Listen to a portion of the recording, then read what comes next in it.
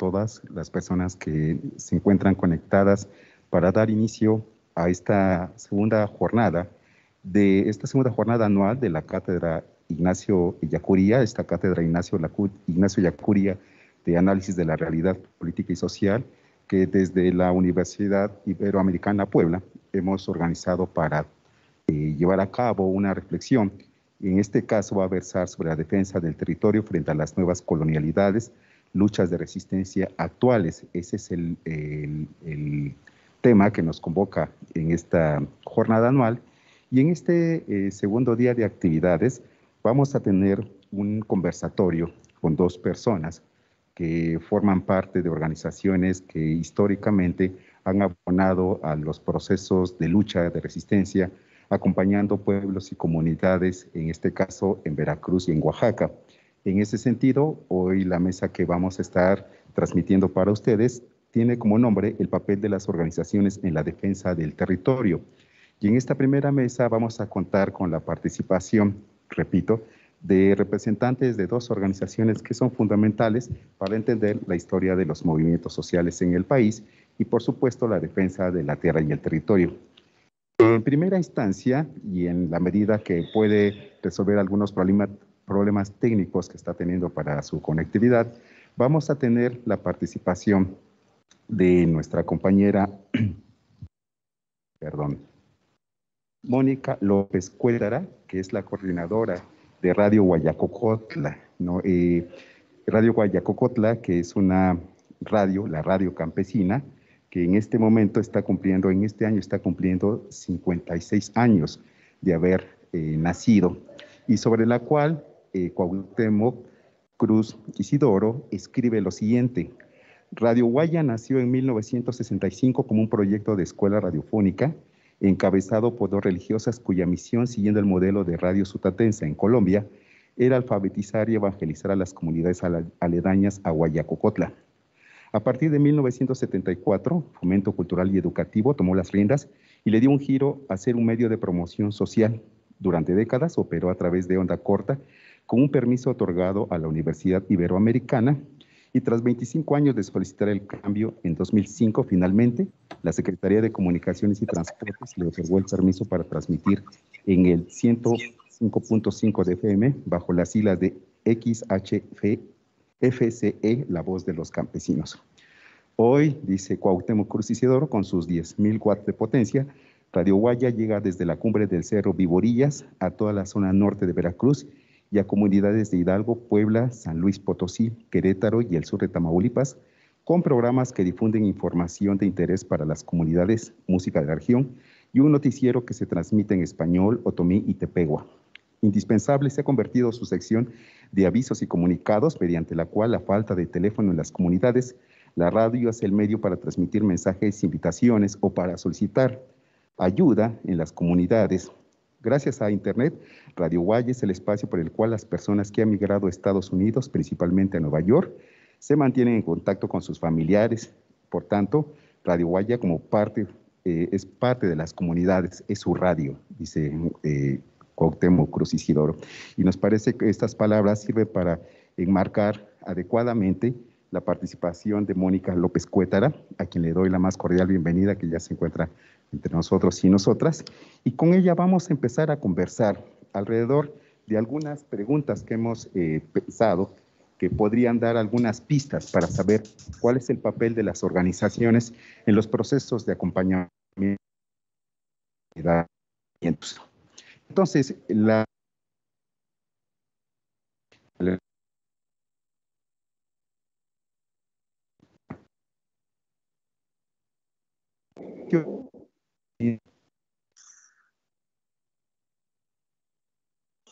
por el territorio, es decir, en cuál es el contexto del movimiento y de lucha que están acompañando y han venido acompañando en este Radio Guayacocotla, en este caso Radio, Radio Guaya, perdón.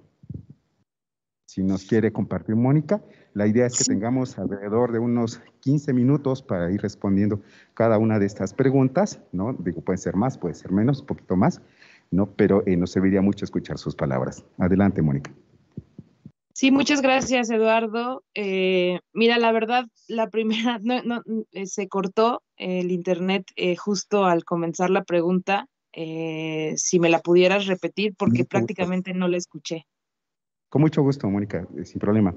Dice, desde el espacio de acción, en este caso de Radio Guayacocotla, desde su espacio de acción y acompañamiento frente a quién o quiénes, Radio Guaya ha acompañado comunidades en los procesos de resistencia por el territorio. Ok, sí, muchas gracias, este, Eduardo. Pues bueno, primero sí me gustaría compartir eh, como una, un breve contexto de que eh, los procesos de resistencias y de defensa del territorio fue algo que no estaba eh, como tan dentro de la radio hace 10 años, como que empezaba a escucharse Atenco, las mineras en Oaxaca, y, pero la radio no, no lo tenía dentro de sus ejes de trabajo, sino que fue la misma realidad que fue llevando a la radio a tener que hablar y denunciar y acompañar estos procesos de resistencia.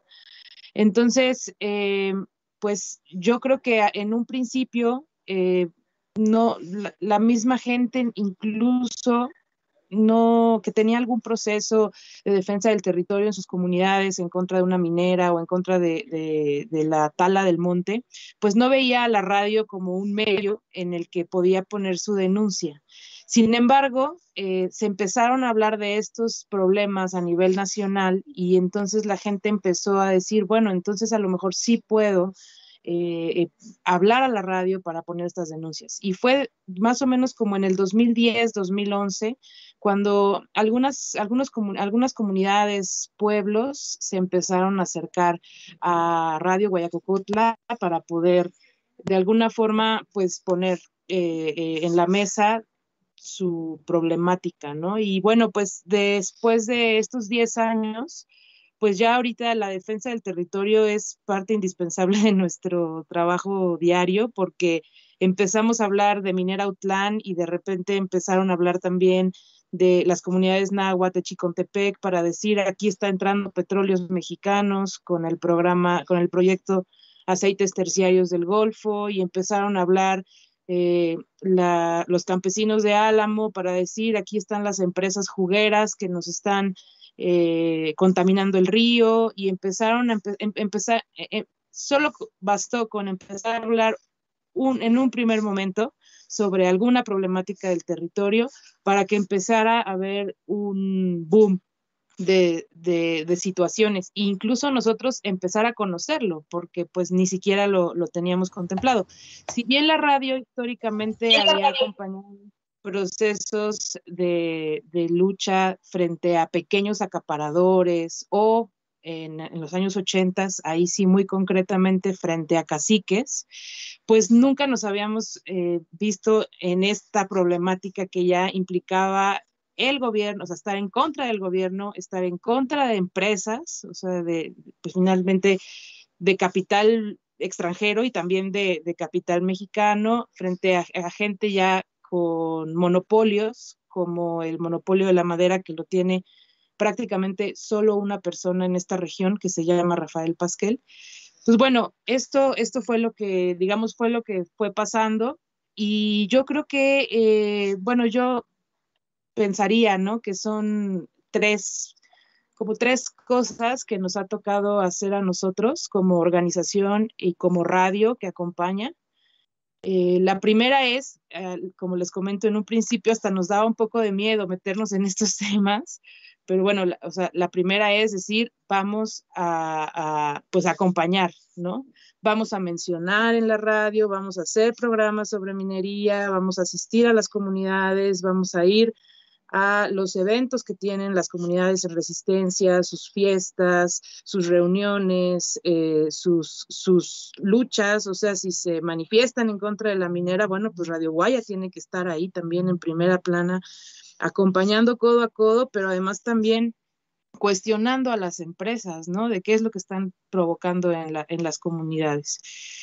Otro punto que me parece que es fundamental que nos ha tocado también hacer es el vincular eh, en algún momento vimos que estaban todos los procesos aislados, dispersos por la región, pero pues dijimos, no, o sea, tienen que conocerse entre ellos, tienen que vincularse para también eh, hacer más fuerte el movimiento, ¿no?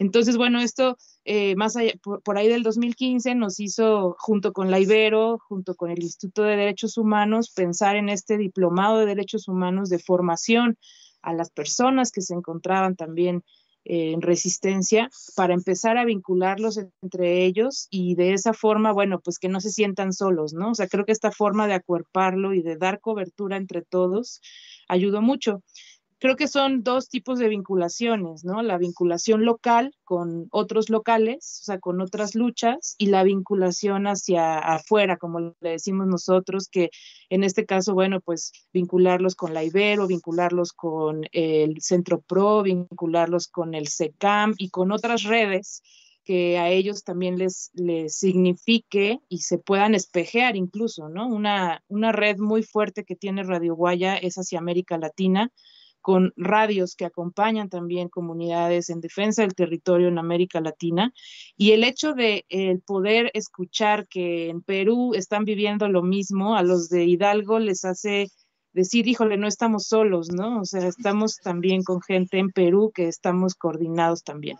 Entonces, bueno, yo creo que es acompañar, vincular y eh, un último eh, punto que creo que es indispensable para las organizaciones que acompañamos es el informar. Eh, em, una cosa que nos hemos dado cuenta es que la gente sabe bien qué es lo que no quiere, o sea, ellos no, no quieren una empresa, ellos no quieren que les quiten sus tierras, ellos quieren seguir conservando ¿no? la riqueza que ellos tienen, pero muchas veces, y nos hemos dado cuenta aquí, que ellos no son los dueños de la información de qué tiene su tierra, qué minerales, con, qué, con qué cuenta esa tierra que le quieren quitar.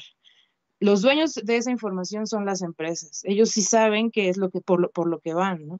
Entonces, una de las cosas que hemos visto que es muy importante es informar a la gente de las comunidades, pues cuáles son esos minerales, cuáles son esas sustancias, cuál es esa riqueza que tiene su, su tierra, para que ya no sea solo la empresa la que sea dueña de esa información, sino también las mismas comunidades. Y bueno, pues en conjunto igual con investigadores medioambientales, pues el poder eh, pues informar a la gente y que ellos sean los dueños de la información y finalmente quienes decidan, ¿no? Pues yo a, lo mejor acotaría esta pregunta, Eduardo, ahí, eh, en estos tres puntos, ¿no? Acompañar, informar y vincular. Muchas gracias, Mónica. Eh, le repito a las personas que se están incorporando a esta transmisión que acabamos de escuchar a Mónica López Cuétara, que es coordinadora de Radio Guayacocotla, La Voz Campesina, y que nos acaba de referir, bueno, eh, cómo ha habido esta transición en los procesos de comunicación de la Radio Guayacocotla y cómo se ha ido, podríamos decir, politizando de una manera importante, no porque antes no haya sido política, sino politizándose en el sentido de hacer frente a los procesos extractivistas en, el territorio o en los territorios donde se encuentra, y cómo eso la ha llevado a convertirse en una radio que acompaña, vincula e informa, de acuerdo con lo que nos plantea Mónica.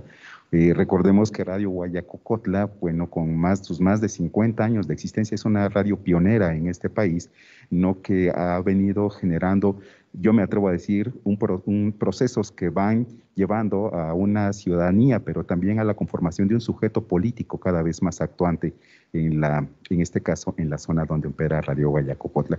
Muchas gracias, Mónica. Y ahora le doy la palabra y, y la bienvenida, por supuesto, a Marcos Arturo Leiva Madrid que él es director eh, de Educa, de Servicios para, una Educación Alternativa, una organización basada en, Oaxaca y que ya está teniendo, que ya ha cumplido 27 años. ¿no? Eh, Educa, eh, fundada en el marco de un proceso muy interesante en el que estuvo marcado, entre otras cosas, por el paso de Monseñor ay, acabo de olvidar el nombre del, arzobispo de Oaxaca, eh, Bartolomé Carrasco Briceño, ¿no? Y que, y que eh, viene eh, también reconfigurándose o configurándose a partir de esos ecos de la teología de la liberación y va pasando de ser una organización de corte, podríamos llamarle en su origen católico, no a ser una organización que sin renunciar a esa ética cristiana, va avanzando hacia configurarse una organización que hasta la fecha y también marcada por los movimientos de la, de la educación popular, no fue perfilándose a una que en este momento ha venido acompañando a diferentes procesos y movimientos sociales que tienen que ver con la lucha contra el extractivismo. Lo mismo en, en procesos en contra de la construcción de presas, ¿no? que acompañando también movimientos que están buscando frenar la acción de mineras. Y en ese marco, en esos 27 años de, trabajo, eh, podemos decir que sobre todo en la coyuntura de 2006, Educa configuró o tuvo un papel eh, preponderante en la configuración de la Asamblea Popular de los Pueblos de Oaxaca, junto con otras tantas organizaciones, pueblos y comunidades, y de una ciudadanía actuante que no podemos, eh, que, que no podemos soslayar y que seguramente marca un quiebre en la historia reciente de Oaxaca pero no solamente de Oaxaca, sino a mí me parece que en el marco de la relación con otras, eh, con otras organizaciones sociales y no gubernamentales del país y de América Latina, va también teniendo un papel muy relevante. Y es en ese sentido en el cual pues yo le doy la bienvenida a Marcos Arturo Leiva Madrid, que es, repito, director de Educa, para contestar precisamente esta primera pregunta. Marcos, que eh, ya nos había venido eh, platicando desde su perspectiva, Mónica, y que es desde el espacio de acción, en este caso de Educa, desde el espacio de acción y acompañamiento, frente a quién o quiénes ha acompañado comunidades en los procesos de resistencia por el territorio. Entonces te doy la palabra Marcos y bienvenido nuevamente. Muchas gracias, Eduardo. ¿Sí me logran escuchar? Ah, disculpen, problemas técnicos con estas cosas de la tecnología y ahora en la virtualidad un poco más. Pero bueno, muchas gracias, agradecer a, a, la Ibero, a, Eduardo por la invitación a, compartir y a platicar en este eh, evento tan, tan importante ¿no? y, tan, y tan preciso en este momento en el, en el país. Eh, en otros lados de, de, nuestra América. Este, pues bueno, eh, Educa, como, como bien mencionabas, Eduardo, es una organización que se funda con personas que vienen de un trabajo de la Iglesia Católica, principalmente de jóvenes, ¿no? En esa época, don Bartolomé Carrasco impulsó mucho la participación de jóvenes. Ya cuando vimos que no era posible eh, seguir haciendo acciones y alguna actividad dentro de la iglesia, institución, por los cambios que, que, hubo ante el retiro del, obispo Bartolomé Carrasco, decidimos salir y formar parte, y salir de, de la instancia eclesial y formar una organización que siguiera haciendo un trabajo. Hay momentos importantes en la vida de, Educa. Uno es precisamente al, salir en más o menos 92, finales de 92, 93, eh, el 94 surgen los zapatistas, ¿no? irrumpen más bien en la vida pública en enero. Eh, la muerte de, Colosio, ese año es importante para nosotros, es un año de, de nuestra constitución participamos activamente en la creación de la Alianza Cívica, ¿no? es una organización ciudadana de observación electoral y aquí en Oaxaca la coordinamos este grupo junto con otras organizaciones de jóvenes que salíamos de la pastoral juvenil. Entonces es un, un hecho que nos impacta y que todavía nos, nos marca. ¿no? Uno es el tema de la construcción de ciudadanía. ¿no? En ese entonces, 94, tenía que ver con eh, eh, elecciones, elegir cambio por las vías institucionales, pero eh, el, eje es la construcción de ciudadanía que hasta ahora nos, nos marca en nuestro trabajo. el segundo precisamente tiene que ver con la erupción zapatista. Ya desde la pastoral juvenil, nuestro trabajo estaba referido a comunidades indígenas. ¿no? Entonces, eh, ese es el otro eh, enfoque fuerte que tiene que ver que el trabajo de Educa eh, se ha mantenido por estos 27 años en comunidades campesinas e indígenas del Estado. y el otro eje importante que tú lo mencionabas, pues es todo el tema de la educación popular. Este, como una forma, un método, un enfoque de trabajo en todo este en todo este proceso que llevamos. Eh, como parte de la iglesia conocimos la propuesta metodológica y pedagógica y ética de Paulo Freire y ahí precisamente eh, nos, nos, nos motivó al nombre y a nuestra orientación, ¿no? O sea, el de servicios para una educación alternativa, de fondo está la propuesta de Paulo Freire de eh, generar procesos de educación, de formación y generar procesos organizativos. Entonces ahí en el fondo está también el, nombre ¿no? de nuestra organización. Entonces hemos transitado por muchas por muchas eh, acciones temáticas y demás. En algunas eh, te recordarás, Eduardo, el trabajo que hicimos en términos alrededor del municipio, poder local. Generamos un espacio de formación, eh, acciones de economía solidaria, este trabajo de, municipal, de trabajo municipal, de fortalecer estructuras organizativas de, eh, de, los pueblos y comunidades indígenas nos llevó a discutir fuertemente con muchos sectores el, el, concepto del municipio indígena, ¿no? Para algunos no hay municipios indígenas, es municipio tal cual, ¿no? Sin, todos somos homogéneos, ¿no? Eh, y nosotros eh, empezamos a decir que había municipios indígenas que tenían ciertas características y una de ellas es su organización. En este trabajo coincidimos con un, con un municipio que se llama Santiago Iztayutla en una lucha caciquil, ¿no? fuertemente eh, contra los caciques, eh, para poder ellos tener la capacidad de nombrar a sus propias autoridades, porque en ese entonces sí había una asamblea, pero quien dirigía la asamblea era el cacique y antes de la asamblea les daba alcohol a todo mundo, ¿no? Y entonces ya cuando llegaba la votación, pues votaban ya todos alcoholizados por el que el cacique decía.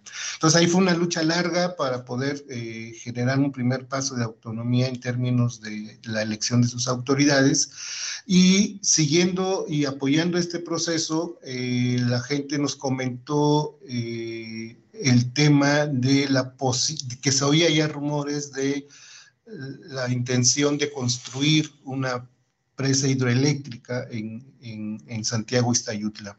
Eh, empezamos a, investigar, a, averiguar que había desierto y sí había un plan de eh, generar un proyecto hidroeléctrico, eh, nos adentramos a todo ese tema y por ende a todo el tema de defensa de la tierra y territorio. Eh, al final el proyecto no quedó en, paz, en, en ni Santiago sino en un ejido de, de Santiago Jamiltepec, ahí también en la costa, que se llama Paso de la Reina. La comunidad, y así se llama eh, el proyecto de presa hidroeléctrica. Ante eso, eh, empezamos a hacer un trabajo en términos de dar información, de generar espacios de discusión. Hicimos cinco foros seis foros regionales eh, dando información sobre los derechos de los pueblos indígenas, las afectaciones de las presas, etcétera, etcétera. Y en el sexto eh, foro eh, se creó el Consejo, se decidió por los pueblos crear el Consejo de Defensa del Río Verde, el COPUDEVER eh, que ya lleva más de 10 años existiendo eh, para defender precisamente el río Verde de la posibilidad de la construcción de esta hidroeléctrica. Eh, ese ha sido un proceso de acompañamiento territorial muy fuerte, ya llevamos 12 años de, apoyar y de acompañar ese proceso en términos de, varias estrategias ahí, la, la, movilización, se han tomado la carretera, también eh, se ha cerrado el paso, bueno, los compañeros y compañeras de la comunidad de Paso de la Reina cerraron su entrada para que no, no llegaran ni funcionarios, funcionarias, instituciones públicas, porque aquí es bien interesante observar cómo ciertas universidades se prestaban a hacer estudios, ¿no? Estudios eh, ahí, ¿no? Engañando a la gente. Entonces, eh, supuestamente para hacer investigaciones, pero los estudios de impacto. Antropológicos y demás que necesitaban para construir eso. Eh, y bueno, y una serie de trabajos de incidencia, de articulación y vinculación. Entonces, hasta ahora no se ha podido construir ni poner, según la CFE, eh, decía que iban a poner la primera piedra ahí por el año 1999, 2000, ¿no? Este, hasta ahorita no se ha puesto. Tenían una, una oficina de manera particular para el proyecto Paso de la Reina en Jamitepec, ya no la tienen. Eh, han logrado los compañeros y compañeras a través de diferentes eh, acciones, pues detener el proyecto hidroeléctrico eh, de tener eh, la intención de los, gobiernos federales y, estatales de querer eh, construir este proyecto hidroeléctrico. Esto también vale decir que no ha sido gratuito, ha costado mucho, organización, movilización, incidencia, comunicaciones de comunicación, ahora que escuchaba a la compañera, pues eh, de la radio es importantísimo el tema de la comunicación, ¿no? Entonces ha habido acciones de eso. Y este año, este año yo creo que eh, ha sido muy particular, tristemente, ¿no? Para, para los compas y del paso de la reina y para nosotros, ya que al inicio de este año matan, ¿no? Asesinan a cinco compañeros del Copudever entre ellos a Fidel Eras Cruz, que era eh, en, ese, en ese momento era el comisariado ejidal, y además era uno de los líderes eh, más activos del Copudever, entonces sí ha sido un fuerte un fuerte golpe ¿no? a la misma comunidad, pero también a toda la organización regional y a los que acompañamos ahí ese trabajo. ¿no? Este, bueno, ese es eh, como se inicia, pues se educa en este tema de tierra y territorio, desde entonces ya como 12, 15 años trabajando el tema y eh, ahora en los valles centrales acompañando un proceso también de resistencia de 10 eh, comunidades entre municipios y comunidades ejidales con sus respectivas autoridades ante el querer, ante la intención de la expansión de un proyecto minero. En los valles de Oaxaca hay un proyecto minero de 10 años más o menos, que se, llama San José, y está ubicado en un poblado que se llama San José del Progreso, en los valles, y la empresa minera quiere expandirse este, a otras comunidades, crecer como proyecto minero, y ahí es donde se encuentra la resistencia de eh, las comunidades. Eh, después de varios años de estar acompañando, se ha creado eh, un frente, y las comunidades decidieron crear, organizarse regionalmente y se creó un frente que se llama eh, frente no a la minería, sí a la vida por un futuro para todos y todas. Eh, hasta ahorita, eh, del trabajo que se ha ido realizando, también apenas el, el 11 de octubre de este año se cerró la carretera que va de Oaxaca a Puerto Escondido. Se ha tenido reuniones con la Secretaría del Medio Ambiente, con la secretaria Albores, y se ha logrado parar dos mías dos manifiestos de impacto ambiental y eso es importante en este contexto porque la primer permiso ambiental que tiene la empresa eh, ahora el 28 de octubre de este año se le terminó y entonces están urgidas de eh, de tener otro permiso ambiental que da la Semarnap a través del manifiesto de impacto ambiental y han tenido una serie de acciones de intimidación y de, de amenazas y acosos a eh, compañeros y compañeras de las comunidades.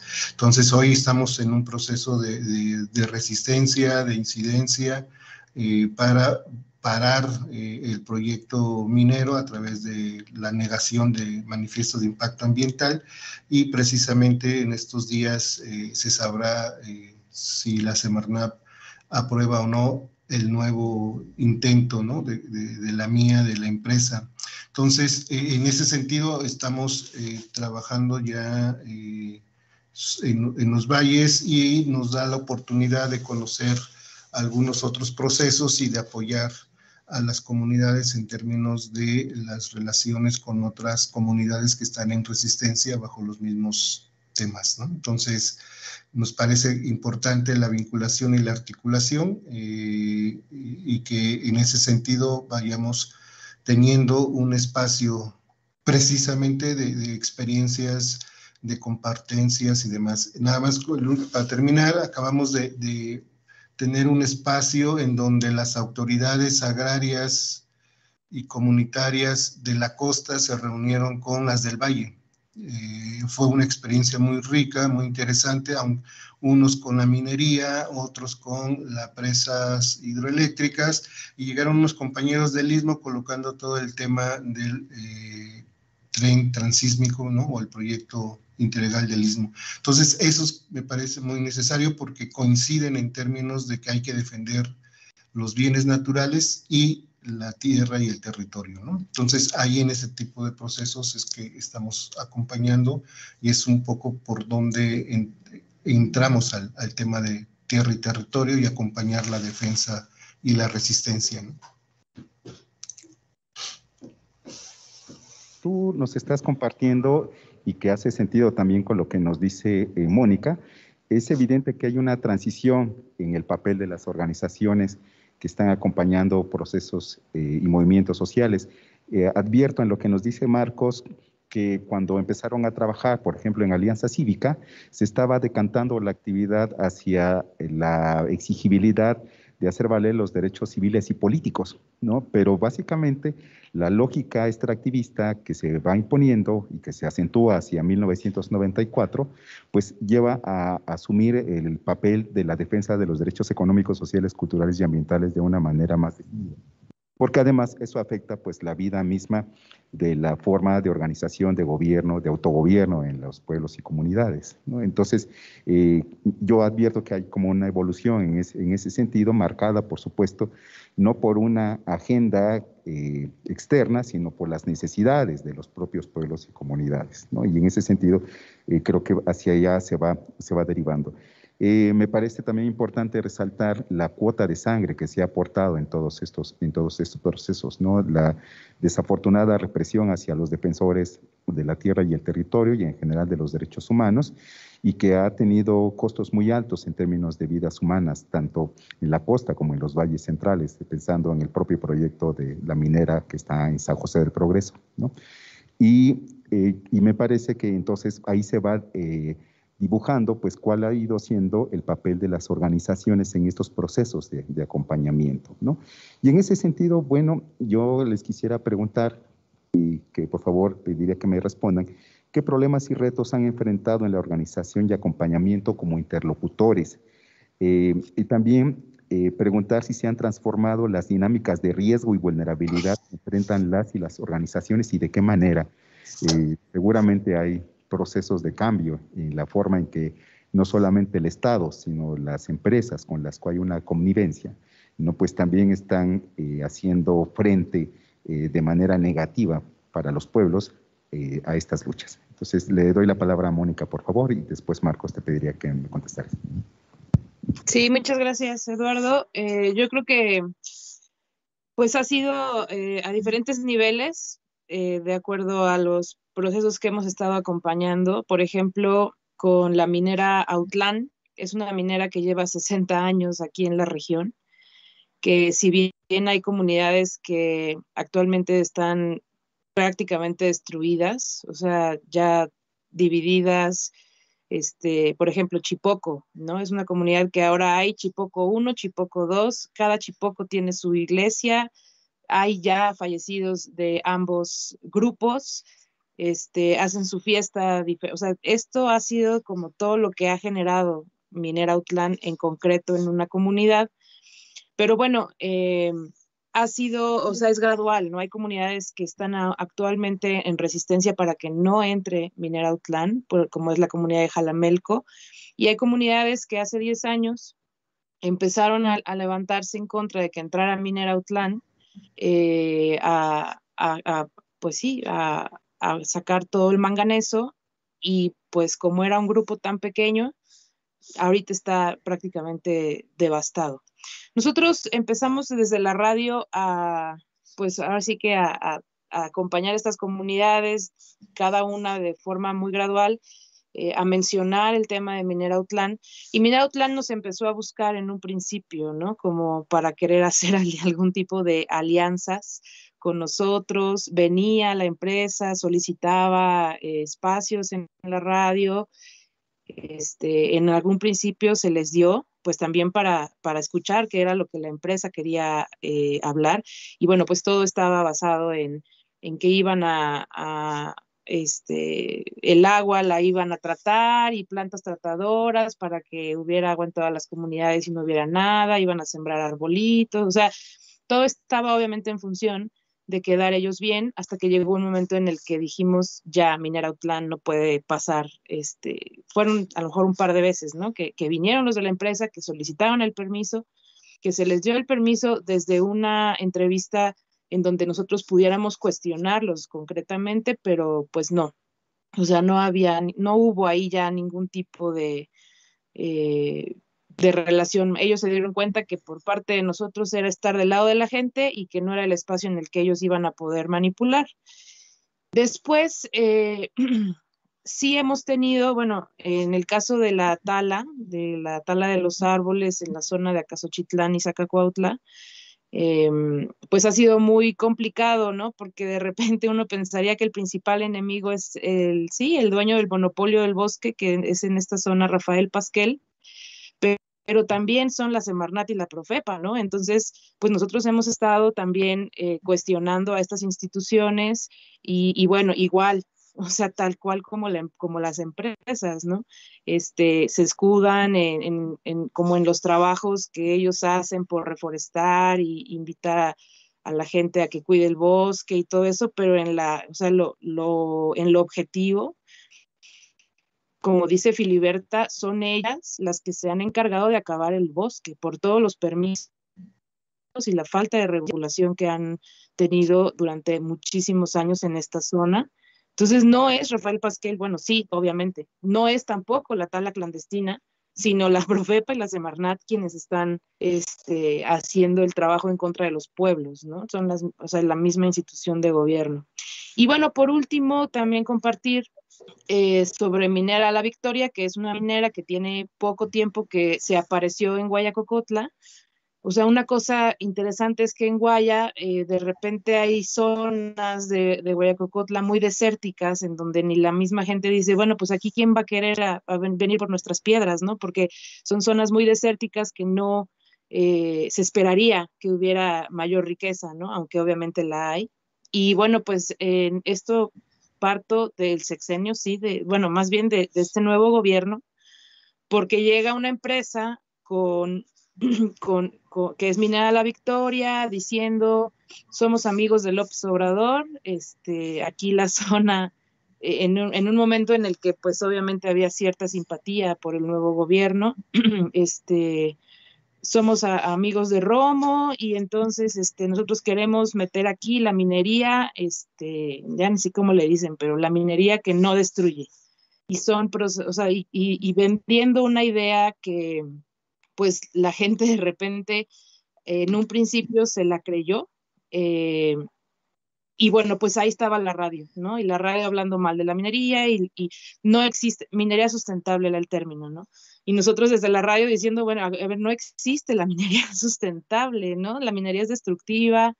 Entonces, bueno, esta empresa minera La Victoria nos empieza a ver a nosotros, en primer lugar, como el principal enemigo a vencer y empieza una campaña de eh, desestimación de la radio en las comunidades diciendo es que esa minería de la que habla Radio Guayacocotla no es real.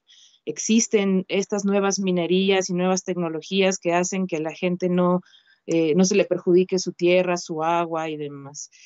Entonces empiezan a visitar ejidos y empiezan a ir agarrando fuerza, este, empiezan también a, querer, a pedirnos entrevistas, obviamente dentro de esta misma dinámica de Minautlán, de querer ellos eh, quedar bien con la gente y bueno, pues empiezan también a hacer campañas de difamación a la radio.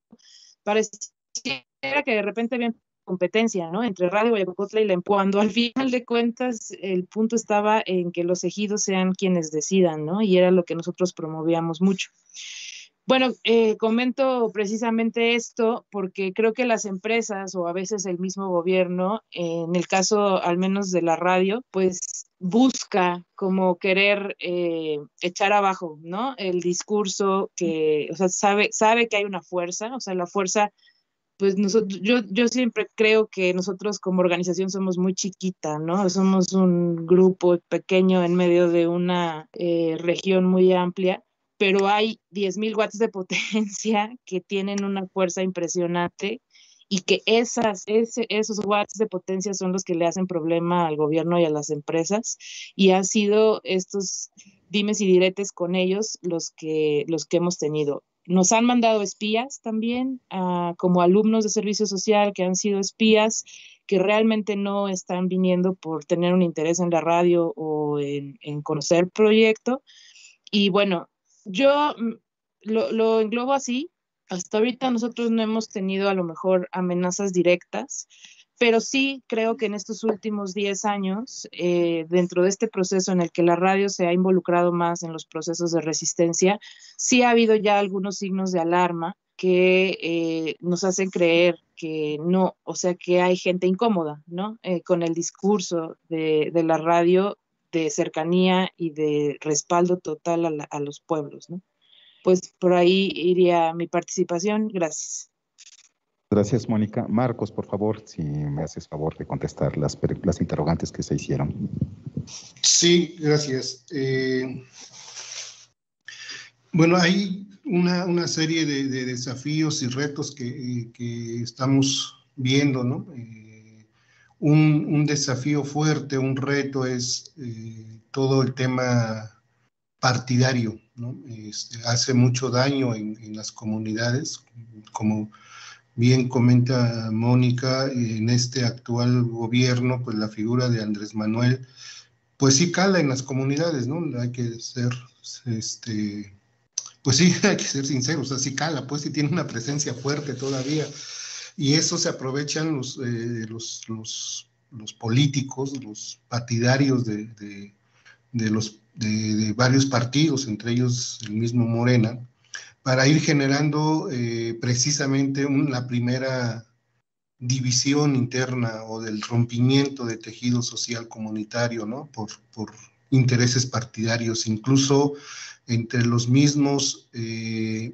entre los mismos partidos, dentro del mismo partido hay quienes están, eh, por ejemplo, Morena en la costa, hay quienes están con Salomón Jara, por decir algo, y hay quienes están con Flavio Sosa. Los dos son de Morena, pero son equipos o grupos diferentes y se disputan ¿no? el territorio. Y esa disputa del territorio eh, también causa asesinatos.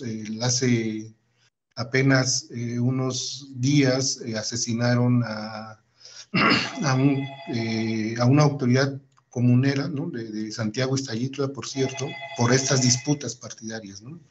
Este, eso es un reto y un desafío enorme de cómo generar procesos más desde la autonomía y de la autogestión, etcétera, ¿no? Entonces, ahí creemos que hay que seguir trabajando.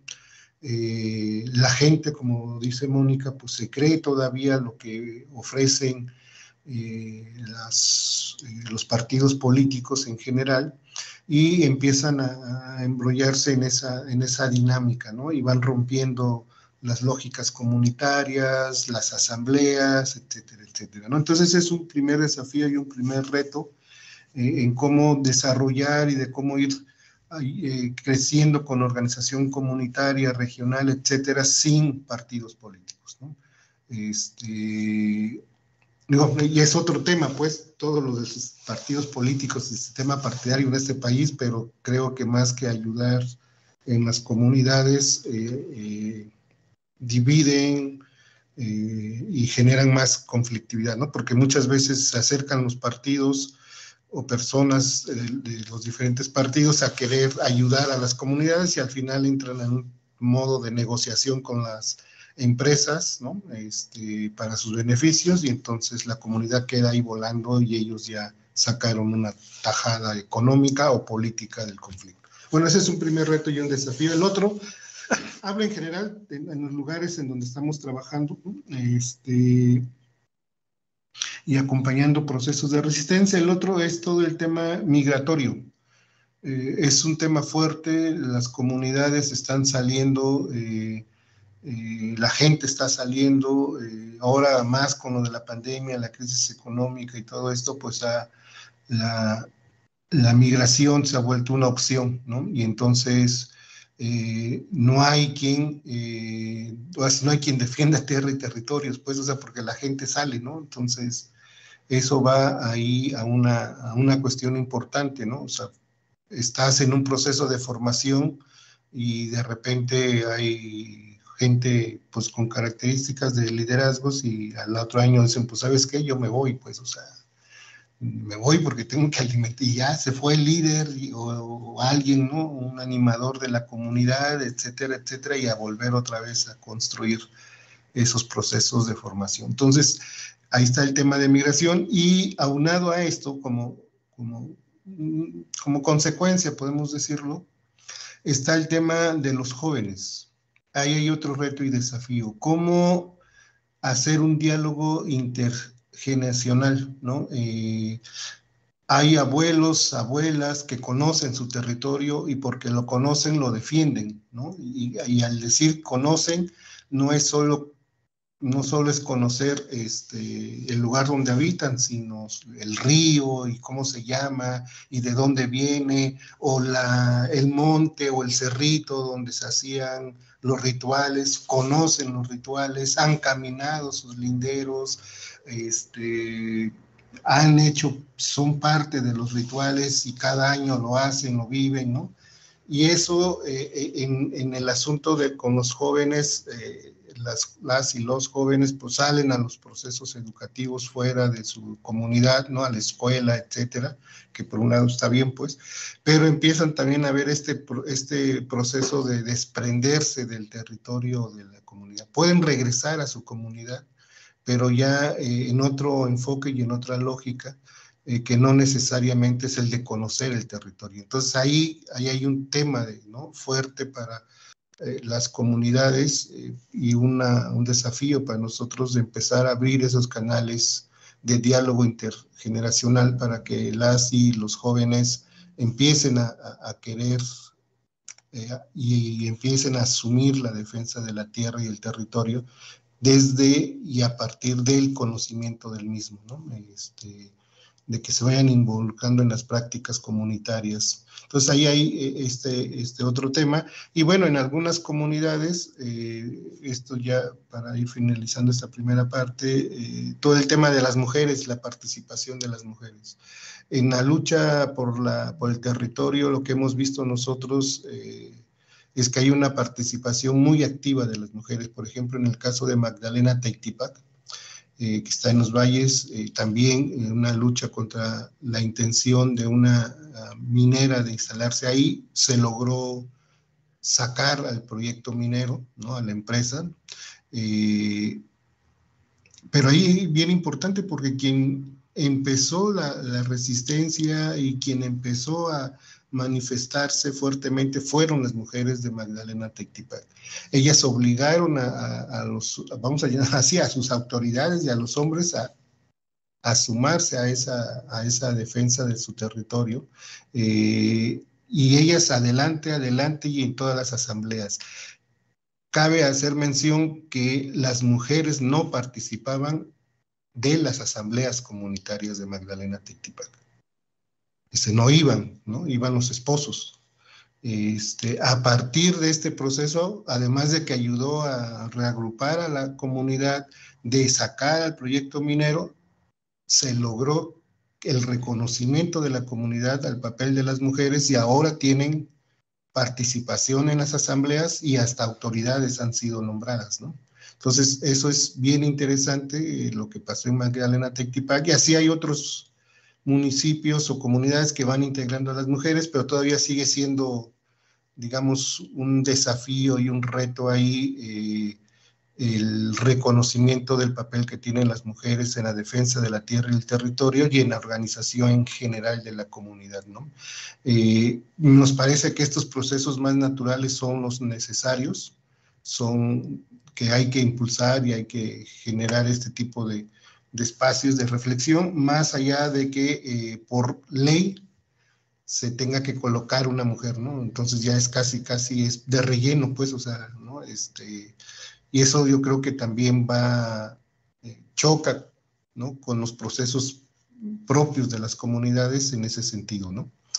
Eh, y en términos de, seguridad, yo creo que sí ha habido cambios. Ah, yo hemos platicado aquí que a lo mejor en los años 90, ¿no? bueno, de los 80, 90, 70, ¿no? ubicabas que la violencia venía del Estado, ¿no? Este, que era el gobierno, ¿no? el Estado, que era el, el PRI, los caciques, ¿no? Este, como que lo teníamos un poco más claro esa, esa, parte. Hoy me parece que los agentes de la violencia hacia los pueblos en resistencia eh, se han diversificado, por desgracia.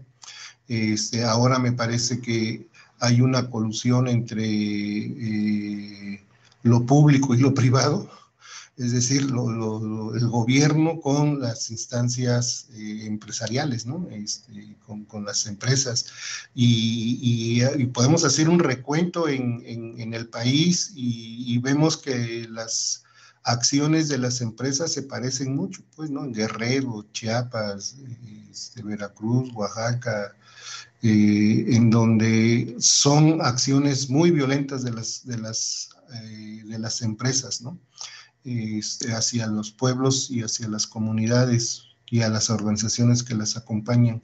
Y ahí ya, ya, se, ya, ya como que ya no es tan claro quién es quien, quien genera la violencia, ¿no? Porque muchas de estas empresas no lo hacen ellas mismas, sino tienen grupos que lo hacen, ¿no? Entonces, por ejemplo, San José, ahí al inicio, hace 10 años, había un grupo paramilitar, quien fue quien asesinó a Bernardo, ¿no? Vázquez, ¿no? Este, es un grupo paramilitar y que generó varios enfrentamientos ahí, ¿no? En San José. Eh, ahora, en la última movilización que hizo el Frente, eh, al día, fue el 11, al día siguiente, el 12, se movilizó eh, la CTM. La CTM se movilizó porque son, son los, en, bueno, los que transportistas de los volteos y demás están dentro de la CTM y ellos se, se, movilizaron, cerraron calles para, porque quieren que siga la, la, mina y, y, para que vean el grado, ¿no? Eh, el dirigente sindical, así se presentó, este, en una entrevista con un medio de comunicación, dijo, nosotros estamos de acuerdo a que palabras más, palabras menos, estamos de acuerdo en que siga la mina, vamos a luchar para que se quede y no vamos a permitir que la cierre, cueste lo que cueste, aunque corra sangre. O sea, ya colocó el tema de la violencia, no es propiamente la empresa, pero pues son una gente muy ligada a la empresa y seguramente apoyada por la empresa, ¿no? A que haga ese tipo de acciones.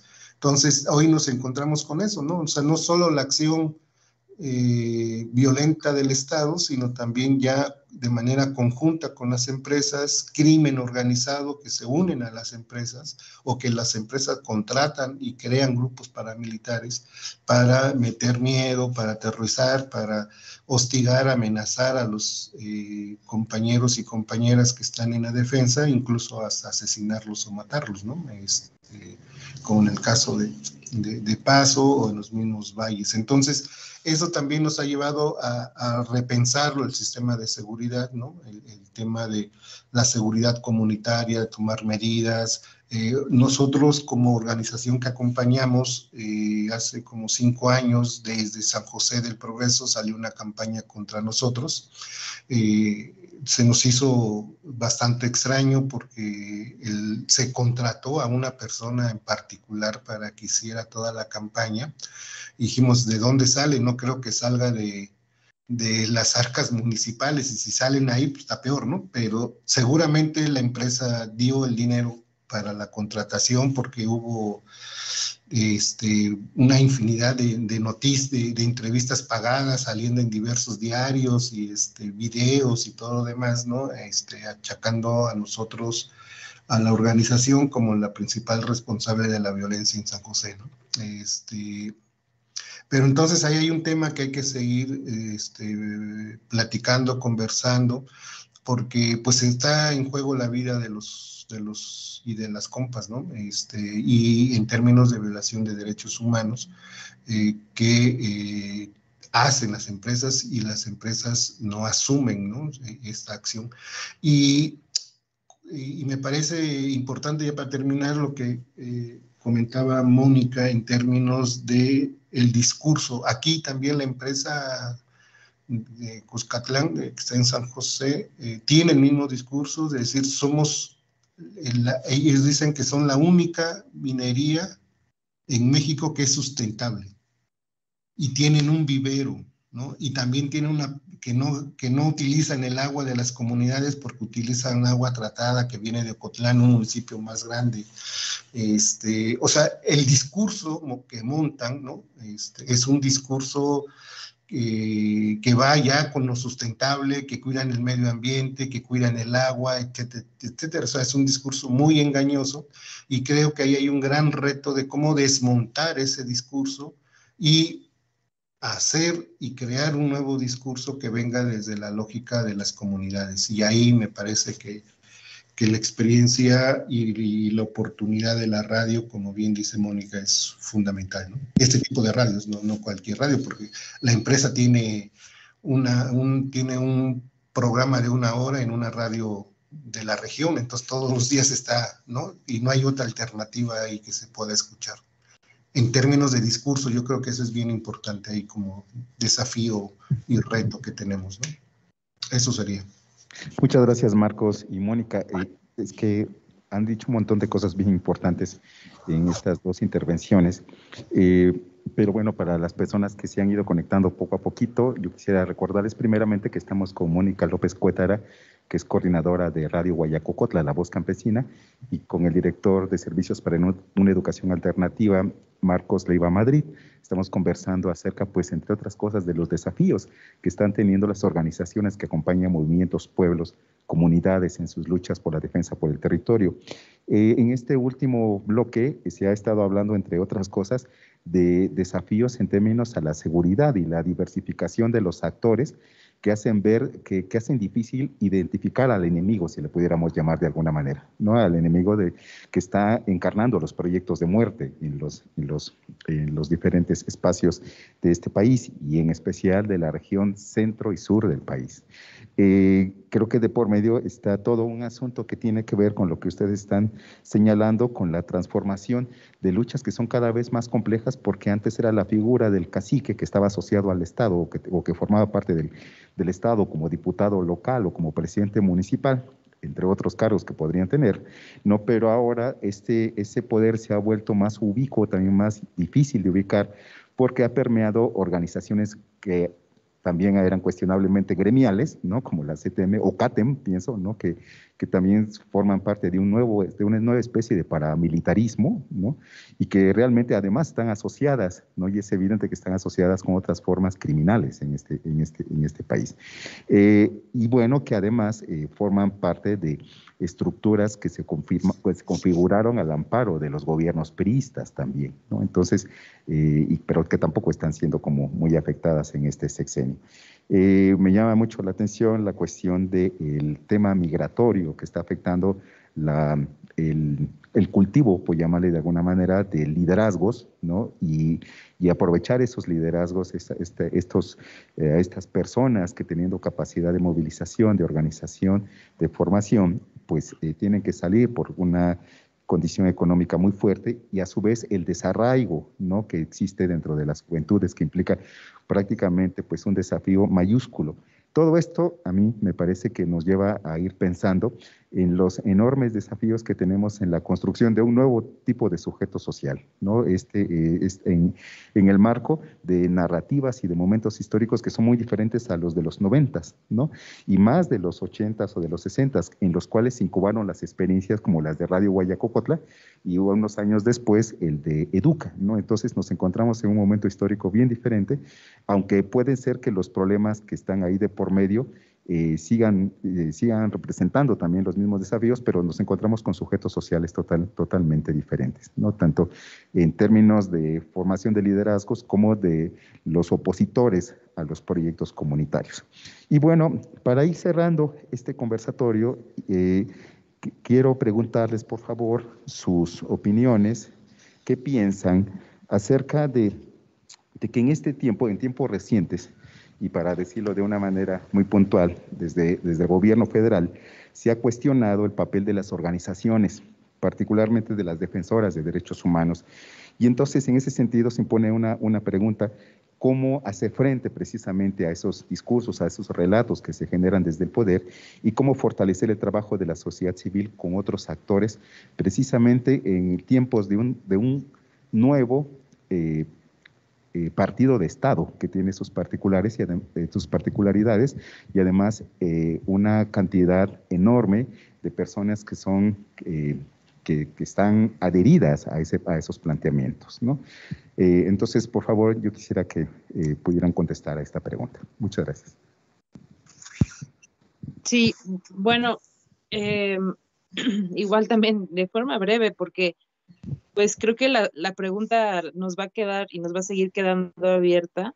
Em, yo nada más quería como puntualizar que pues estos, estos retos que plantea Marcos de las juventudes, los migrantes, las mujeres en la participación de asambleas, son puntos en común, ¿no? O sea, me atrevo a decir, no solo en Veracruz y en Oaxaca, sino en todo el país, y que, y que son, son puntos que, que son los que nos tienen que seguir guiando para, o sea, esas preguntas son las que tenemos que seguir contestando para, para poder seguir enriqueciendo el trabajo, ¿no? Porque son problemáticas que se están viviendo en todos lados.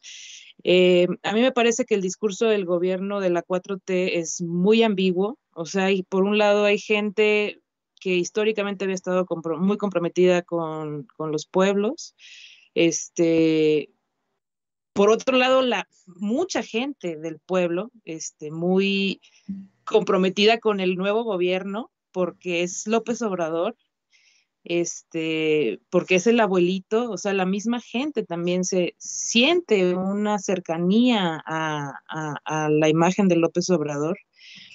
Y se está volviendo, al menos desde aquí, muy complicado el cuestionar al nuevo gobierno, ¿no? Porque cuestionar al nuevo gobierno es cuestionar a López Obrador y eso, o sea, de repente hasta como que somos señalados, ¿no? El por qué están cuestionando lo, que, lo que dice López Obrador.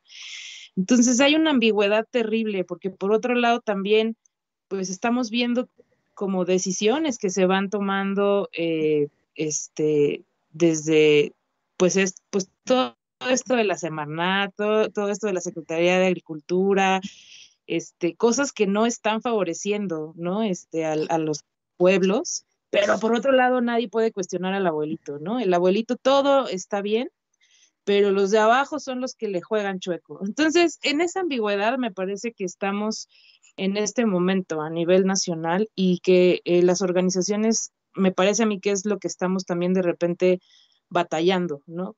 volvemos al tema de los discursos, ¿no? O sea, con un discurso de Andrés Manuel, pero con una práctica de, las instituciones de gobierno completamente contrarias a lo que él dice. Y entonces ya no, ya ahora ya no podemos cuestionar al gobierno como antes, porque ya no es el PRI, porque ya no es el PAN. Entonces, eso lo, lo digo así como una cosa muy compleja en la que estamos ahorita y que pues yo me inclino a, lo que decía en un principio, ¿no? O sea, la importancia de seguirnos vinculando hacia abajo y hacia arriba, este, en lo local y en lo, y en lo nacional. O sea, si, si e, esa es, me parece a mí que la, única forma de poder seguir fortaleciendo y manteniendo viva esta, pues esta lucha que los pueblos han emprendido desde hace mucho tiempo, ¿no? A mí me queda muy claro que hay pueblos muy conscientes que independientemente de que sea López Obrador, se están dando cuenta que no hay un apoyo del gobierno a, los procesos de resistencia. Pero también hay, eh, también hay, hay, pueblos en donde se están viendo ahorita, de por sí ya estaban divididos y bueno, ahora se ven más divididos porque uno se dan cuenta que el gobierno no está jugando, o sea, no está ayudando y otros no se puede cuestionar el gobierno. Entonces es la división tras la división, tras la división, tras la división Y creo que em, pues el seguir fortaleciéndonos como organizaciones eh, hacia lo local, el seguir vinculándonos con organizaciones hacia lo nacional, o sea, eh, dentro de estas redes que me parece que durante estos 10 años se han ido creando más fuertes. Este, pero pues bueno, también hay un desgaste, ¿no? Económico, hay un desgaste también físico, eh, hay muchas cosas que también entiendo que, que, perjudican pues a la posibilidad de seguirse vinculando. Pero bueno, pues yo más bien lo plantearía más como respuesta, como que eh, sigamos con estas preguntas porque la, se va volviendo más complejo, ¿no? La, la situación. Sí. Sí. Este, coincido con, Mónica, ¿no? En, la actuación del, nuevo, del nuevo gobierno federal y, la figura, la figura de, Andrés Manuel, que creo que más que, el partido, es la figura de Andrés Manuel. Eh, y en ese sentido eh, sí preocupa eh, el discurso porque va generando un clima, ¿no? Va generando un clima de hasta de alguna manera de hostigamiento hacia las organizaciones. Eh, como, como dice Mónica, eh, muchas de estas organizaciones eh, civiles o organizaciones sociales, por muchos años, parte de su, de su lucha, de su trabajo, era transitar a un gobierno democrático, ¿no? Que transitar a elecciones limpias, sin fraudes, etcétera, ¿no? Que se respetara el, voto, etcétera, etcétera, y trabajos en términos de construcción de ciudadanía y todo, que va al final de cuentas alimentando un proceso de concientización que ahora en, en la última elección pues se vio reflejada en el deseo de un cambio en este país, de transformar el país y de 30 millones de votos a favor de Andrés Manuel. Eh, que eso es el, acumulado, pues, no, es, no es necesariamente solo Andrés Manuel, pues, ¿no? O sea, sí tiene una parte, pero es el acumulado histórico de todo el trabajo que hemos realizado diferentes organizaciones y que tuvo ahí su, culmen, pues. Y hoy eh, en el discurso, eh, Andrés Manuel desconoce ese trabajo. Este, y entonces todas las organizaciones somos de derecha y conservadoras, ¿no? Todas. Y todas venimos eh, junto con X, con Claudio X González, ¿no? Este, y, sí, o sea, hay de esas, pues hay, hay esas organizaciones de derecha y hay seguramente, sin duda, más bien organizaciones que eh, tuvieron acceso a dinero público en grandes cantidades, ¿no? Sin, sin hacer un trabajo ni territorial ni nada, sino para hacer eventos como un torneo de tenis y demás, y se escudan que eran organizaciones de, la sociedad civil, ¿no? Este, y entonces barre con todos, ¿no? Y entonces eh, eh, uno puede estar de acuerdo en que les diga, sí, o sea, hay organizaciones como las de X González, sí, hay organizaciones como del PAN también, o como de o como la de Zavala, ¿no? Este, y Felipe Calderón, que tenían acceso a grandes recursos, o Josefina Aranda, ¿no? No, Josefina Vázquez. Vázquez. Ajá, que también con acceso, ¿no? Apoyo a migrantes y tenía un chorro de, lana y demás, ¿no? Este, sí, esas hay que denunciarlas y obviamente hay que cortarles por dónde, pues, pero no todas son esas, pues no todas somos esas y, en su discurso y en su actitud pasamos todas. Y eso para el resto de la gente, o sea, para, sus, fans, vamos a llamarle así, sus allegados, este, le creen también eso, que todas somos igual y por eso las organizaciones, porque nos quitaron el presupuesto, parte del presupuesto, estamos en contra de Andrés Manuel. Y pues no es cierto, muchas organizaciones de hace mucho tiempo no tenían acceso ya a recursos públicos, ¿no? Este, pero entonces eso sí es preocupante, ¿no? Es preocupante ese tipo de, pensamiento porque poco a poco va generando condiciones eh, de hasta de hostigamiento o de ataque a las organizaciones que tenemos un trabajo en el territorio, con comunidades, etcétera, etcétera. Y ahí me parece importante lo que dice Mónica como una estrategia, el de juntarnos el de ir generando las alianzas necesarias eh, ante lo que puede venir, ¿no? Este, eh, eh, yo creo que ahora, precisamente en estos tiempos, se está discutiendo las organizaciones civiles con el tema de recaudar, ¿no? Más, este, pues, el gobierno del Estado nos quieren cambiar de régimen y nos quieren tratar como empresas, este, y hace 15 días más o menos hubo un encuentro nacional de organismos civiles, virtual obviamente, en donde salieron una serie de, reflexiones eh, precisamente en este tema que, que, mencionas, Eduardo, eh, y algunas acciones a, seguir trabajando de manera conjunta, pero sale este mismo, este mismo pensamiento de, de Mónica de vamos a articularnos, vamos a a juntarnos este, y vamos a, seguir creando redes que, permitan tener un clima favorable para hacer nuestro trabajo, ¿no? Y cuando hablo de clima favorable, no solo es en términos sociales o políticos, sino también en términos eh, legales, es decir, eh, las organizaciones y la sociedad civil eh, se tienen que tener un clima necesario eh, para generar sus condiciones de trabajo, ¿no? Este, y, de, seguir acompañando este tipo de, procesos. Pero si hay reformas fiscales para hostigarte, si hay reformas eh, legales para limitar el trabajo, está muy, muy difícil. Y termino con una, con una reflexión que, es, que suena interesante y que es, o sea, eh, el discurso de Andrés Manuel es un discurso llegador, como, ¿no? O sea, sí, llega pues a la gente y más a, los compas, pues ahí a, ras de tierra, porque es ir contra eh, el cacique, es ir contra el PRI, es ir contra, ¿no? Estos grupos poderosos que han estado hostigando, oprimiendo a la gente. Es, y hay que hacer una transformación y no a la corrupción, etcétera. Pero también el discurso de Andrés Manuel es a mi parecer, oculta el no se organicen, aunque pareciera que invita a la organización, pero en el fondo es no se organicen, no, no, no generen organizaciones, este, yo no creo en las organizaciones intermedias, este, ¿por qué? Porque es al final es él, pues, ¿no?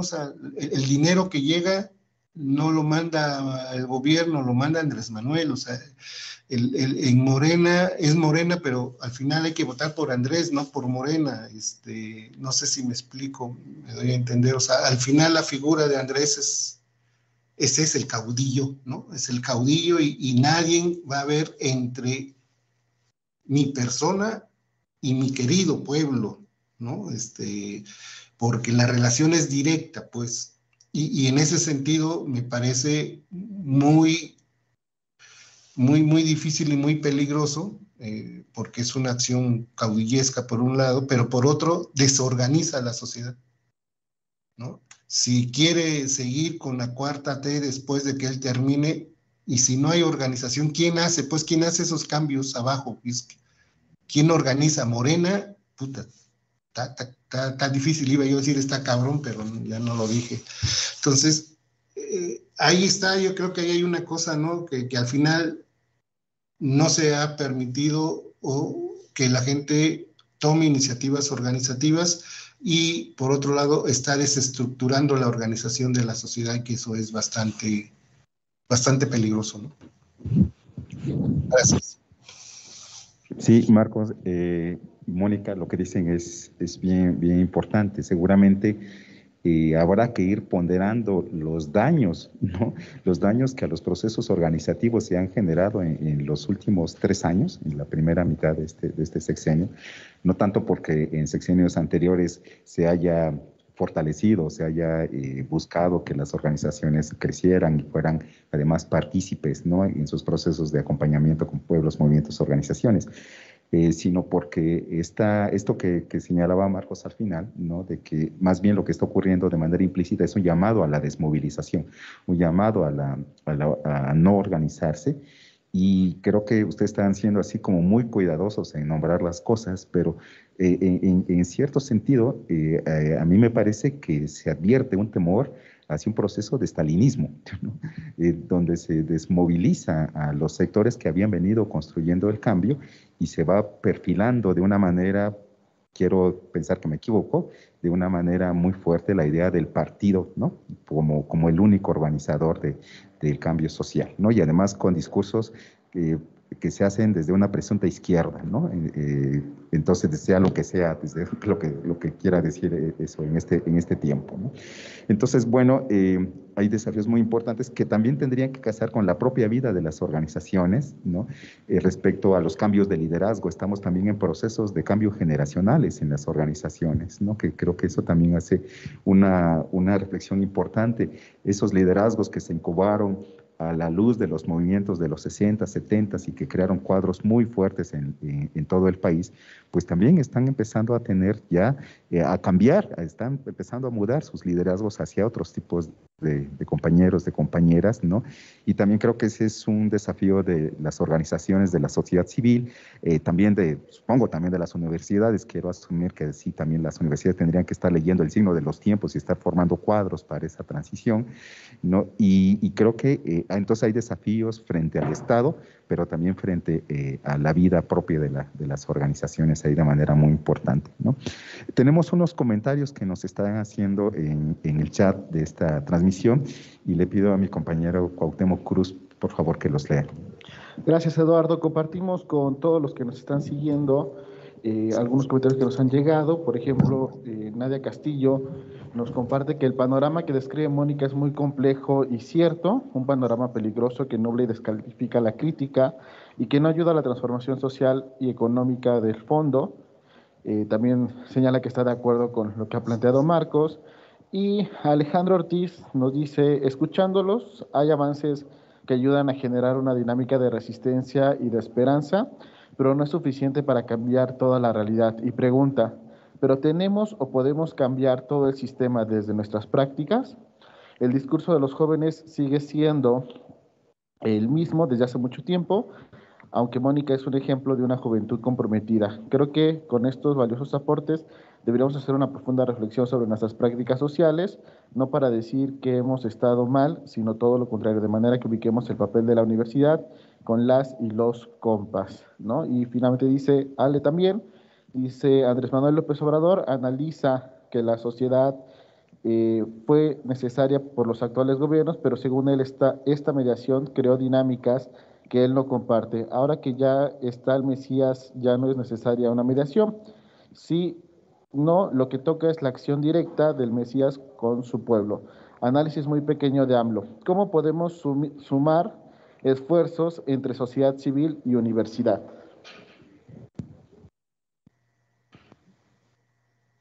Pues eh, les doy la palabra, no sé quién quiere comenzar a, comentar estas intervenciones que se han hecho en línea. Adelante, adelante. Bueno, pues yo, bueno, ahí tenemos, realmente creo que tenemos la, nosotros la gran pues, ¿cómo se dirá? Como la gran ventaja de que la Ibero Puebla es nuestra hermana, ¿no? Eh, como proyecto de la compañía, eh, y no solo la Ibero Puebla, sino también la Ibero León, el ITESO, la, Ibero México, y, y, son de quienes hemos tenido, pues, eh, también este cobijo, ¿no? Al menos así nosotros siempre lo hemos sentido en esta última pregunta, ¿no? de pues de cómo poder seguir vinculando la universidad. O sea, yo creo que eh, hay muchas cosas que nosotros en medio de la actividad eh, perdemos de vista y que desde la universidad me parece que nos pueden ayudar como a poner orden y a, y a ubicar, ¿no? Este, desde el análisis, desde, desde, desde pues sí, desde un estudio como más antropológico, sociológico de, lo que nosotros estamos viviendo. A veces aquí las cosas van corriendo y todos los días tienes, nosotros siempre decimos que hay una frase que es vamos por las veredas recogiendo agravios, porque por todos lados a donde vamos hay algún problema que, que surge, ¿no? Y en medio de eso, a veces no nos detenemos como para poder observar y poder hacer un análisis más detallado. Yo creo que eso es algo en lo que la universidad nos puede ayudar mucho, al menos ah, aquí eh, nos ha ayudado mucho también la, la Ibero en este caso, pero creo que ampliarlo a más universidades o que las mismas universidades se pongan como, como prioridad el poder también eh, acompañar procesos sociales en resistencia sería muy importante, ¿no? Ahorita nosotros tenemos, gracias a, esta plataforma de Ibero Puebla Guaya, que eh, nos ha dado como esta, pues esta cobertura, pero pues sé que no todas las universidades también, o que a lo mejor las mismas, las mismas organizaciones pues tampoco se nos ocurre poder ir a tocar puertas a las universidades. Sin embargo, yo creo que en las universidades están haciendo cosas muy interesantes. De, justo ayer hablábamos con un investigador de la Universidad de Veracruzana eh, sobre todo el tema de la agroindustria, pues, no o sea, los migrantes, precisamente, la gente que sale a trabajar de Guayacocotla se va a trabajar a la agroindustria, ya sea en México o en Estados Unidos. Y bueno, el panorama que él te puede dar, pues es, es un panorama que, que, a lo mejor aquí nosotros en medio de la sierra, pues no lo vamos a, a, poder ni, ni, ver, ¿no? Porque es una cosa más macro. Entonces, bueno, ahí me parece que sería, que es muy importante, o sea, que el tocar puertas de ida y vuelta, ¿no? O sea, que las universidades también toquen puertas aquí abajo y que nos digan, oigan, este, pues de qué forma les podemos ayudar y que nosotros también sigamos tocando puertas eh, desde las necesidades que vemos aquí en, en los contextos, ¿no? Bueno, eso podría responder por ahora. Gracias y saludos, Alejandro. Este, yo creo que. Marcos, por favor. Sí, eh, nos parece, bueno, con los comentarios hechos coincidimos, ¿no? Eh, coincidimos en, lo que comentan, lo que dicen. Eh, y me parece también importante el, tema que colocaron en los comentarios, que es el de la esperanza, ¿no? Las cosas que sí se han cambiado y las cosas buenas. Yo creo que también ahí había que eh, colocar la, mirada, ¿no? Hay que colocar también ahí la reflexión. Yo creo que sí podemos cambiar el sistema, eh, obviamente no desde nuestros procesitos o, de nuestro pequeño aporte, sino precisamente en el conjunto, ¿no? Es decir, cómo vamos eh, construyendo otras formas, otros modos desde abajo, ¿no? Desde lo comunitario, este, y ir escalando a otros, a otros eh, niveles a partir de esto de la articulación y vinculación hacia afuera, ¿no? Entonces, yo creo firmemente que sí podemos cambiar y modificar el sistema y, este, y creo que por eso seguimos en este trabajo y en esta lucha, ¿no? De, ir acompañando pueblos y comunidades. Eh, se ha avanzado, obviamente, sí se ha avanzado, no todo es negativo en este país, ¿no? Como sistema. Este, hoy tenemos una particularidad, pues, en el, gobierno federal, pero me parece que eh, hemos ido caminando y hemos ido construyendo cosas eh, buenas como sociedad mexicana, ¿no? Eh, y el otro tema ahí fundamental y que hay que seguirlo platicando y conversando, pues es el papel de las universidades, ¿no? Como ya comenta Mónica, eh, es importante la cercanía de las universidades. Cuando inicié, eh, eh, cuando iniciamos este conversatorio, yo decía que el papel de las universidades en el caso de Paso de la Reina había sido bastante interesante, ¿no? Este, la CFE contrató a varias universidades a través de sus institutos de investigaciones para que les realizara los estudios de impacto, ¿no? Los estudios antropológicos, sociológicos y demás, este, y, varias, incluso de, aquí de, el CIESAS o la Universidad de Guadalajara, etcétera, eh, eh, me llegaba encuestas para unas ciertas investigaciones y al final eran los estudios ¿no? que necesitaba la, la, CFE ¿no? para, para seguir operando este proyecto hidroeléctrico. Entonces, cuando se dieron cuenta las comunidades, eh, hay un, hubo un rechazo hacia las, hacia, hacia las universidades y a los investigadores y hubo un acuerdo que dijeron nadie entra a, las comunidades eh, que sean investigadores o investigadoras o que vengan de la universidad. Por eso eh, el paso, por eso cerrar la entrada de paso de la reina, ¿no? No, bueno, no cerrar, sino había ahí un tipo bloqueo que veía quién eres, a dónde vas, etcétera. Y si era alguien de una institución eh, gubernamental o una institución académica estaba cerrado el paso para ellos. Entonces, ese también es el otro papel, ¿no? Había que ubicar por una diversidad de acciones. Y ahora me parece que sí es necesario un diálogo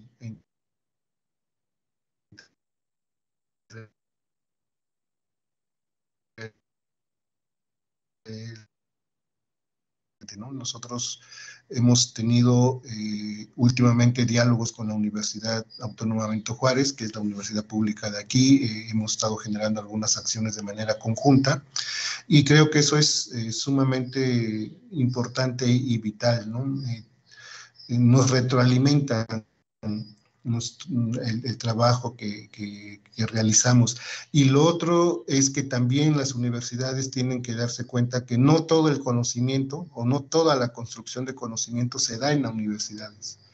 También se da eh, de otra manera, obviamente, de otra forma, pero también se da en los procesos, ¿no? O sea, eh, en los procesos organizativos, eh, en las comunidades, en las organizaciones, ahí también hay un conocimiento eh, y, ese, y yo creo que ahí hay eh, que, generar los espacios para que estos conocimientos se lean entre ellos, se entiendan entre ellos, para ir generando lo que nosotros llamamos una narrativa contrahegemónica, ¿no? este, a la narrativa que, hay actualmente en el, país y en el mundo en términos del modelo extractivista. Eh, y ahí yo creo que alguien sin duda aliada tendrán que ser las, las universidades.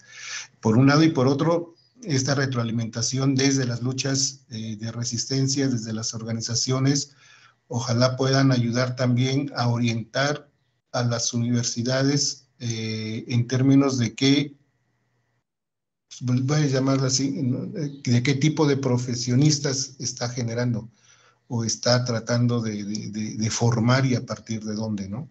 Este, y yo creo que ahí eh, hay un gran trabajo en ese sentido de toda la familia Ibero. Con Puebla hemos tenido algunos eh, contactos a través de servicio social en tiempos atrás, antes de la pandemia. Y yo creo que la Ibero ahí tiene bastante también que compartir y y de, generar espacios en este sentido de las alianzas entre eh, universidades, organizaciones y comunidades en resistencia. Eso sería. Gracias. Muchas gracias, Marcos, y muchas gracias, Mónica.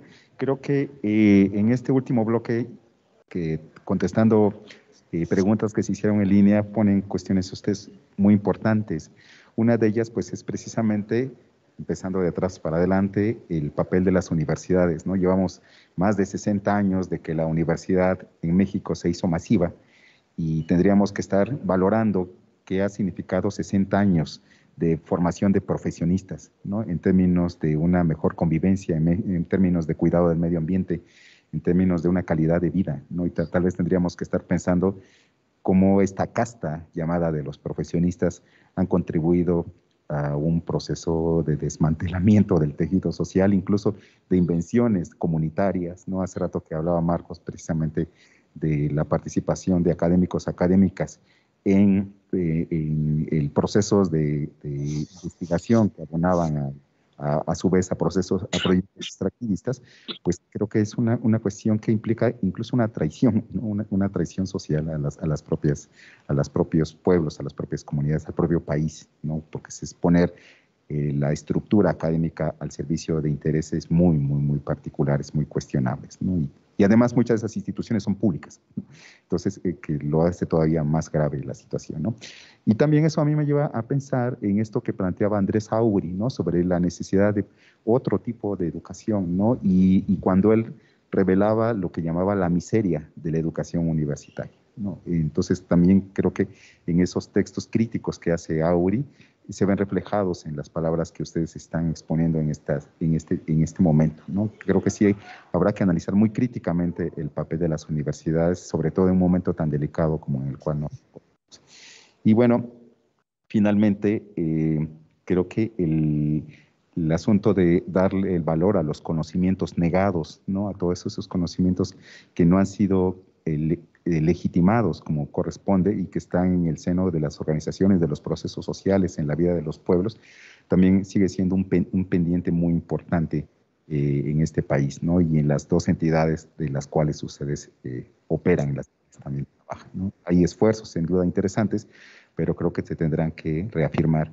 Y en ese sentido, bueno, pues eh, agradezco estas consideraciones que ustedes han hecho, porque en el marco de una jornada anual como la que nos convoca, una jornada de la Cátedra Ignacio Yacuría de Análisis de la Realidad, pues no podríamos prescindir de esa mirada que hacen ustedes desde las organizaciones, desde los pueblos, de las comunidades, y llamar la atención hacia otra forma de hacer ciencia, ¿no? y hacia otra forma de producir conocimiento. Eh, entonces, bueno, yo agradezco infinitamente el tiempo que nos han dado para, para conversar. Creo que nos llevamos como muchas eh, lecciones, mucho conocimiento que ustedes nos han compartido.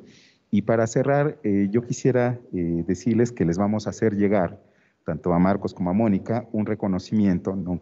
yo, yo, entiendo que luego este asunto de los reconocimientos, pues no es un asunto que esté como en las prioridades, ¿verdad? Porque bueno, finalmente forman parte de, de, de una formalidad, pero también es una, un modo mínimo de agradecer su participación, su contribución y la contribución de las instituciones sociales, de las organizaciones sociales a las cuales ustedes representan, ¿no? que representan un caminar muy grande. A mí en lo particular me, me parece muy relevante y emocionante, por, no, por qué no decir, que dos eh, organizaciones, en este caso Radio Guaya y Educa, que se vieron alimentadas por los aires de Medellín, entre otras cosas, ¿no? pues estén aquí representadas ¿no? y dando testimonio de un trabajo que, ético que a lo largo de muchos años han venido no solamente construyendo eh, como en sí mismos con el valor que tiene en términos de la transformación social, sino también como escuelas ¿no? que en su proceso pues, nos van enseñando a todos y a todas. Y en ese sentido, bueno, yo quiero leerles lo que dice el reconocimiento que les haremos llegar.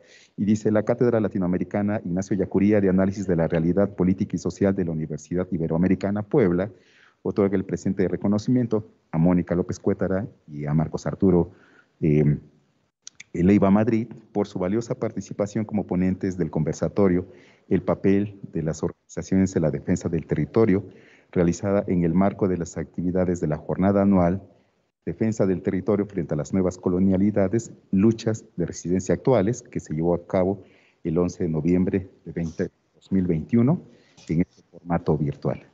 Les agradezco muchísimo nuevamente a nombre de la Ibero Puebla, de la Cátedra Yacurí en la Ibero Puebla, el haber compartido esta forma en que ustedes se hacen cargo de la realidad. Eh, a los compañeros que nos vieron a través de, de Internet, también les agradecemos su presencia y pues les deseo una muy buena mañana anunciándoles que en un momento más empezará otra mesa de esta cátedra. Muchas gracias Marcos, muchas gracias Mónica. Muchas gracias Eduardo. Saludos.